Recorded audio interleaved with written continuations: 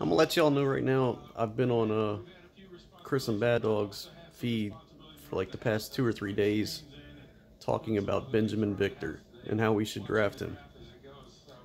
This guy, he catches the ball well with his hands, and honestly, he's he's got a little shake when he catches the ball. He, he can shake some defenders.